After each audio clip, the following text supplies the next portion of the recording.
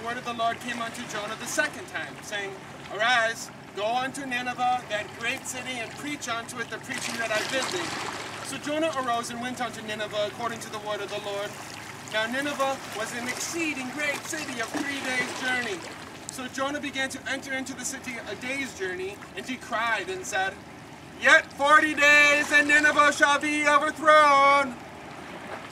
So the people of Nineveh believed God, and proclaimed a fast, and put on sackcloth from the greatest of them even to the least of them.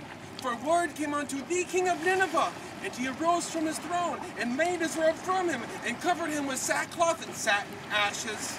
And he caused it to be proclaimed and published through Nineveh by the decree of the king and his nobles, saying, Let neither man nor beast, herd nor flock taste anything. Let them not feed nor drink water. But let man and beast be covered with sackcloth and cry mightily unto God. Yea, let him turn every one from his evil way and from the violence that is in his hands. Who can tell if God will turn and repent and turn away from his fierce anger that we perish not?